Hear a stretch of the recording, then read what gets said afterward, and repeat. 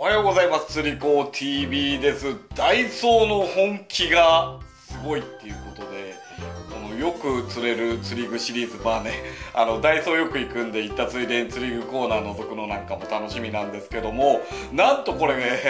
使いやすそうなダウンショットシンカーが売ってましたよ。2.2g で8個入り。ね。これは嬉しいんじゃないですかね。えっと、ブラックバスや根魚釣りの仕掛けに最適なんていう風に書いてありますけども、で、このね、重さが絶妙なんですよね。2.2g っていうことで、えー、まあ、通常だと結構 1.8g なんていうのがダウンショットシンカーだと人気なんじゃないかなと思うんですけども、えー、結構ね、自分が使うのはね、あの小森嗣彦プロ推奨の 2.6g とか 2.7g っていうね、タングステンシンカーね、よく使うんですよね。そこに来て、えー、それよりちょっと軽い 2.2g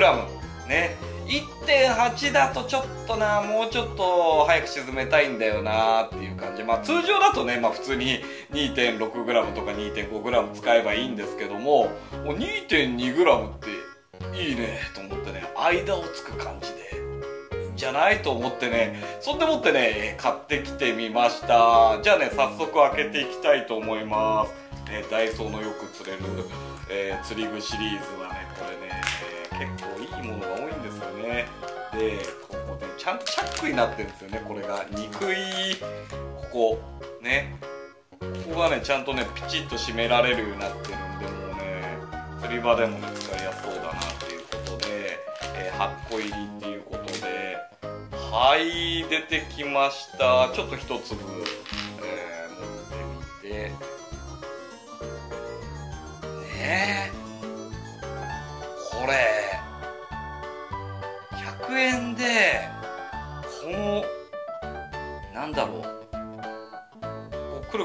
るね。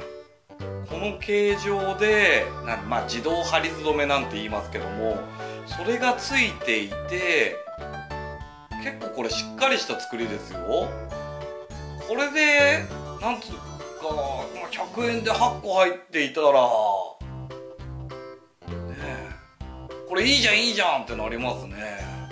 うん。まあこういう形状なんで、まあ、ダウンショットシンカーっていうことでね、えー、まあ改めて、まあ、例えばそうですね釣り子 TV だと結構その釣りやってくれてる人ブラックバスとか好きな人が見てることが多いと思うんですけども、えー、まあねあの初心者の方とかあと特に思ったのが、まあ、自分なんかあのタングステンのねあの、重くてカチカチのシンカー使うことが多いんですけどもこれからバス釣り始めたいよねえー、なんかそのブラックバス釣ってみたいんだっていう小学生とかね、まあ、例えばタングステンのシンカーだと5個入りとかでそうですね。まあ何百円。まあ5600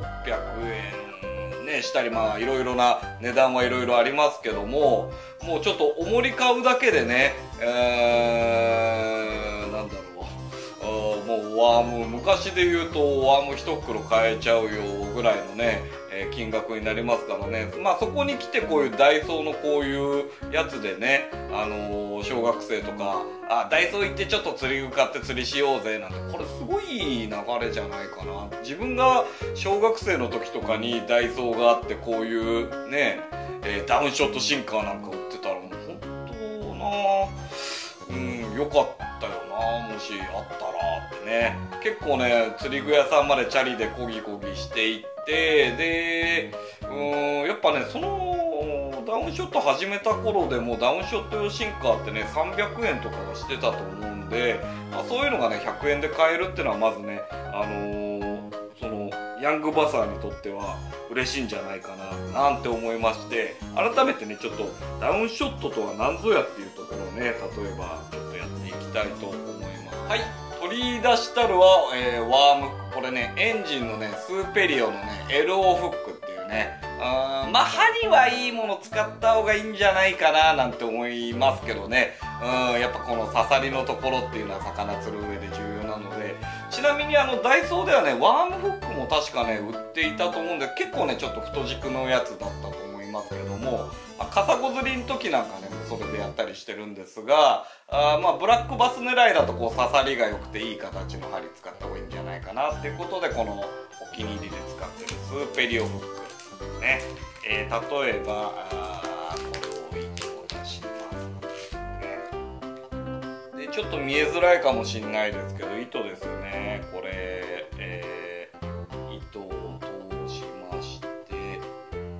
自分はねユニノットが好きなんでユニノットちょっとねパッパッと結んでありますがユニノット3回同士に3回ぐらい通してキュッキュッと締めて、えー、余った糸が出ると思うんですが余った糸を上から下へ上から下に通してはい。上から下に通すとこんな感じですね。で自動ハリス止めがあるんでここにコブを作ってあげるんですねここね。コブを作ってあげてそこにこのダイソーの、えー、100円シンカーを、えー、通す。キュッと引っ張る。そうすると、はい、抜けないように先端の方に行きましたねはい。で、えー、ワームを準備します。まあダウンショットでね何ねワーム使えばいいかなって迷ったらねまあゲイリー山本の何か買えば間違いないと思うんですけどあまあ冬から一年中も真冬のね1月のね初めからね、えー、夏場から今のアフタースポーンの時期から秋から年がら年中釣れるから、まあ、このゲイリー山本のレッグワームで間違いないでしょうということで頭の方からリンと刺してあげて。くるりんぱしてはい。で位置を見ておいてこう抜き刺すとはい。ダウンショットリグの完成。あの結んだ後にね、えー、糸を上から下に通すことによってこの針先がね常に上を向くようになりますっていうね、そんなところだけ注意してあとはこの自動ハリス止めにその結びのコブをプリってねはめるとこれで完成。えー、ここの長さはどんぐらいがいいのなんてよくね気になりますけどね。うーんなんだろうか。あ魚がそこで食べてるなーなんていう時は短め。そんでもって例えば今のアフタースポーンの時期だなんて言ってねちょっとバスが目線より上のものに反応しやすいなんていう時は、え、長めに撮ってみたりとかあとはまあその魚の反応によってね、え、ここの長さは2位で変えればいいと思うんですけども、うん、だからまあ最初長めに作っておいてねその場の雰囲気でね短くしていくなんていうのがいいかなと思いますけども、えー、まあ基本の木、ダウンショットリグ完成といった感じで。はいという感じでね、えー、リグってみましたけどこれダイソーのダウンショットシンカーなかなかいい感じじゃないでしょうか。ただね、えー、このダウンショットシンカーに関しては本当適材適所で例えばブラックバスってそこの硬いコリコリしたようなところとかあとはその小田であったりとか障害物をね好む傾向があるのでそんなあ障害物をこの重りで探知してそれで当たりを出していくなんていう時はこういう鉛のシンカーではなくて、えー、高度の高いえー、なんだろう、コリコリ感を感じやすい、えー、固めのタングステンシンカー、こっちの方がね、えー、がぜ魚が釣りやすかったり、えー、する場合があります。まあ、ただね、考え方としては、えー、中層のベイトについているブラックバスを狙うようなんていう時はもう、えー、そこの感触なんていうのはね、えー、必要ないので、そんな時はあえて、え、鉛のシンカーを使ったり、え、することもあるんで、まあ本当適材適所かな、どっちかがあればどっちがいらないやっていう話ではないので、えー、まあタングステのシンカーはね、もちろんね、準備しておいて、で、この鉛のシンカーの出しどころの時はやっぱり鉛のシンカーね、え、使ってっていう感じになるかと思います。えー、ただね、ダイソーのこの本気度、